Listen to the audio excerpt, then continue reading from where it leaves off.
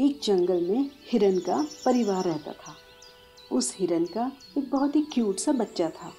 एक दिन खरगोश के साथ हिरन के बच्चे की रनिंग कंपटीशन हुई।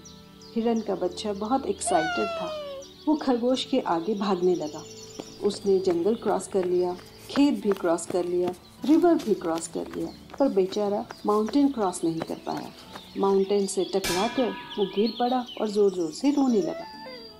एक एक करके जंगल के कई सारे एनिमल्स उसको चुप कराने की कोशिश कर रहे थे।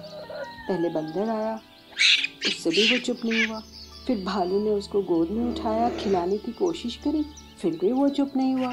ऐसे कई जानवर आए, पर कोई भी हिरन के बच्चे को चुप नहीं करा पाया। फिर हिरन की मम्मी आई। उसने उसे प्यार किया और कहा, चलो हम उस पत्थर की पिटाई करते हैं। हिरन का बच्चा बोला, नहीं वह भी रोने लगेगा। उसकी बात सुन माँ हंसने लगी और बेटा भी हंसने लगा।